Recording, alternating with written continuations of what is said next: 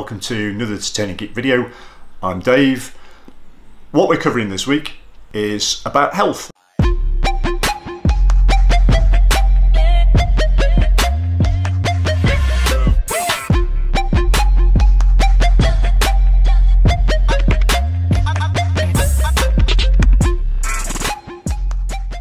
Trust you're well and healthy, but we'll cover more about that in a second because I just want to give a quick advert out to something we're doing on a Saturday morning live at 10.15 GMT, UST, whatever you want to call it, using the Stereo app, link down below. We're interviewing really interesting people who are doing great things in indoor cycling and cycling in general. And so you can ask questions and get involved and all that sort of stuff via the Stereo app. But what we'll also do is push the recordings up onto YouTube so you can tune in anytime from 9 o'clock every Tuesday. So you can catch up on everything we've done when it suits you and when it's convenient to you, perhaps when you're doing your morning walk or whatever. So that's that bit. The other bit we're covering today is a device called Celsium, and this comes from a company whose journey is to make thermometers more accurate. And did we ever really think that much, unless you're a parent that much about thermometers until we had this pandemic. Remember, for me, it was just putting my hand on somebody's head and saying you feel hot, cold, or whatever, anybody else in the house not agreeing with me. Then we all bought, or most of us bought one of these things from uh, Amazon or more reliable places, and we'd measure our skin temperature. Now, I don't know if you know this, but the technology behind these things is about 300 years old even though it's put in a modern device, and your skin temperature can be plus or minus two degrees out from what it should be, because what it should be measuring is your core temperature. So wouldn't it be absolutely amazing to measure your core temperature? And at this very moment while I'm speaking to you, I'm measuring my core temperature. And as you can see here, my core temperature is 35.4 degrees Celsius.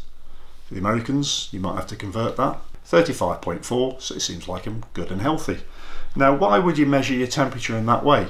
If you've got a small child and you want to check to see if they're okay in the night, you know, we all have those little things we stick on the foreheads and a little line goes across and stuff like that. It's not really good to disturb your son or daughter or more in the night. Uh, what you can do with the Celsium, so these things retail for, he says I'm in a FERC, these things retail for £70 UK and they're fully warranted is this tiny little device and it measures as say your core temperature not your skin temperature and it's 10 times more accurate than other devices. So this is medical grade.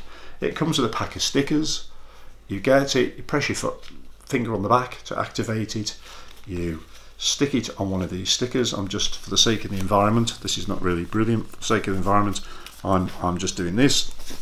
You put it in the hollow of your arm um, and then you can measure temperature via your smart device like an iOS iPhone like this. Taking you through the features of the app, what, first of all, what I really like about the app is you don't have to subscribe to it.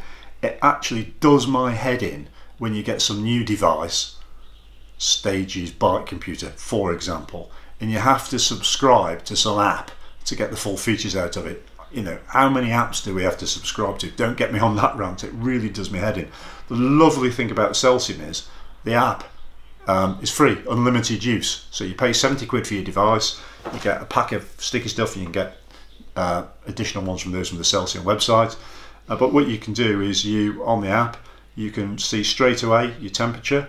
It measures your temperature over a 24 hour period or the person you're measuring, for example, um, one of your children in your family, somebody else in the family it's telling me at the moment that my temperature is roughly 35.4 degrees. I can go in a graph and the graph shows over uh, the last hour what my temperature is. If I've taken medicines, I can record those uh, in the app. So what I can do is you can keep details of any med medicine you're taking. So for example, people who've got specific medical issues that may or may not affect their temperature, they can put that in there. And that's it, it's as simple as that easy, easy as pie. I use this. I, I use this device uh, just to make sure, for the benefit of you, um, out through the night, slept in it, rolled over, all that sort of stuff. Didn't notice it. And you get up in the morning, switch your iPhone on, and you can see what's happened to your temperature. And that's it, really.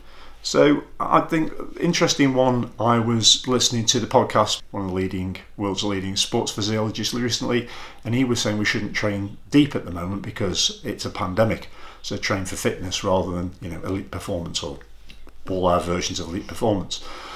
Uh, and it does make you think perhaps we should be monitoring uh, our health in a different way. I know a lot of us use heart rate monitors for doing that and wake up in the morning checking resting heart rate. So why not check your temperature as well? So being able to check your core temperature and not a thereabouts temperature by measuring your skin temperature, it's going to be good. So I hope you enjoyed that. I hope you start enjoying the podcast.